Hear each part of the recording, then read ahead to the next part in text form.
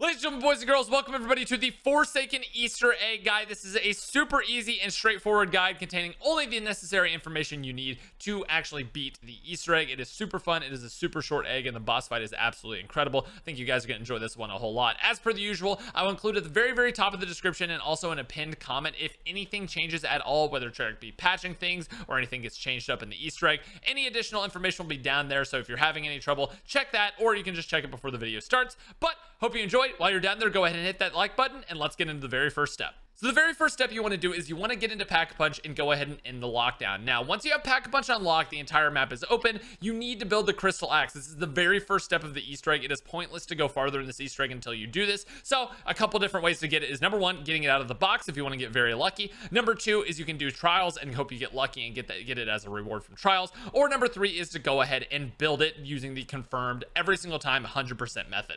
If you don't know how to build the Chrysalax, just make sure you go down in the description, watch the video that I uploaded on how to do that. It's very easy to do, and I definitely recommend just getting it out of the way as soon as possible. So once you have the Chrysalax out of the way, you want to go ahead and go back to the pack-a-punch area, and you're going to find this big red glowing button on the wall. You're going to press it, and it's going to play a cutscene where Maxis and the Forsaken start fighting. You can watch this all the way through, or you can just go ahead and click on your mouse or hold the trigger, and it will actually skip the cutscene. You can do either or, but once this is over, you are on to the next step.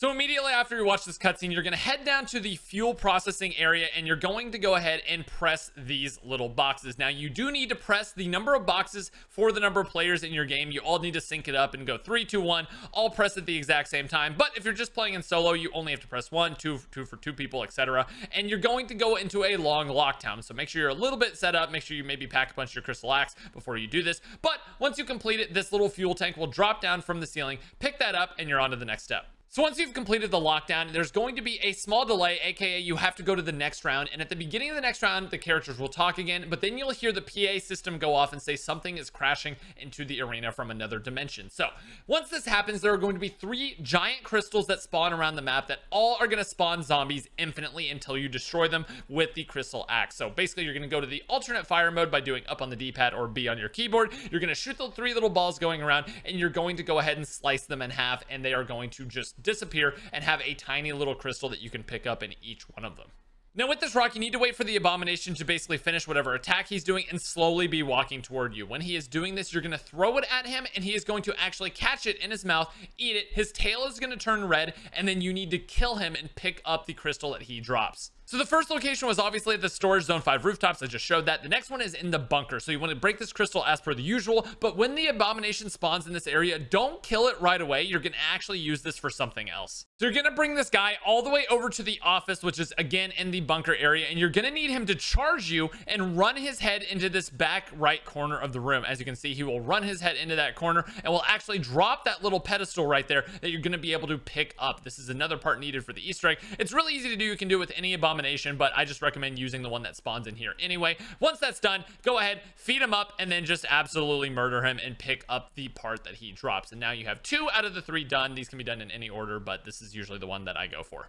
The last crystal is going to be over in the spawn area. This one has a crazy little, you know, path that these crystals are flying. So you kind of have to set up and wait for it to come around and shoot it. It'll follow the same path. It took me a few tries for it to come around and get it. But you're going to kill it as per the usual. As soon as all three of those little orbs are killed, you're going to smash the crystal, pick it up. And again, these abominations usually spawn right when you break this. So again, it's much easier and much better if you just do this on as early around as possible. So feed him up. He's going to go ahead and munch on that take out your axe, kill him again, and pick up the third and final crystal. And once you're done done with this, you're basically on to some of the last steps. So you're going to want to be starting to get your perks, start getting boss fight ready because we are going in very soon. So the last thing you need to do is you need to get dead wire on your gun. You're going to head over to the arcade and there's going to be a Grand Prix machine right here. You're going to actually kill a zombie with dead wire who will link to this Grand Prix machine and actually activate this special RC car that you can buy for 2,000 points. Now, you're going to drive this RC car as quickly as possible and it will blow up if it touches any zombies whatsoever. So just a heads up, make sure that the area is clear. Do it right at the end of the round.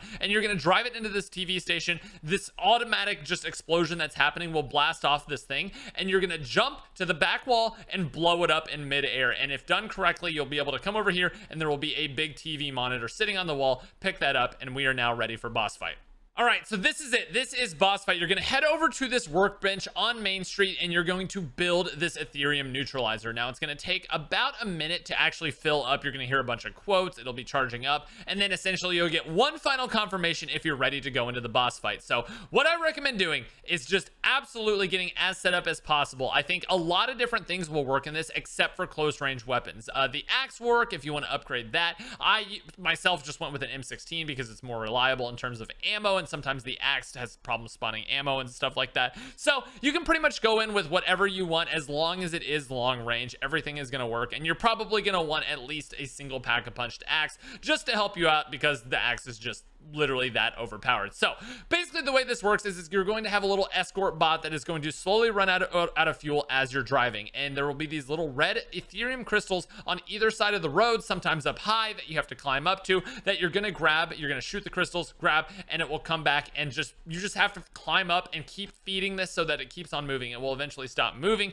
Try to get, just get as many as possible, even if you think that it's fine if it has enough fuel. And eventually when it gets to the very, very end, you will get a nice little safe zone, which will have a pack-a-punch, a perk machine, and also a buildable table for you to just get as boss fight ready as possible if you manage to get some extra points or whatever you need to get. And as soon as you're ready to go in, it is time to hit that button and go into the final boss fight. Now onto the boss fight. Honestly, if you listen to a few simple tips, this boss fight will just be absolutely the easiest thing ever. But basically the flow of the boss fight is the very first thing you need to do is you need to break each of his shoulders. Again, the Chrysalax will be really, really good with this with its fire mode. It'll also be good if you have like an M16 or something like that. Break both shoulders, and essentially Maxis will now be asking for a charge. She'll be asking to be filled up, essentially, so that she can put her energy into a cannon, which you're going to fire. So fill her up, put the energy in the cannon, fire the cannon, and if you fail the cannon, aka you're shooting the wrong spot, or you take too long, etc., you'll just have to fill up Maxis again and redo the entire cannon. So just make sure you get on there and do the right thing. The zombies will actually avoid you when you're on there. So you're going to do this twice. You're going to just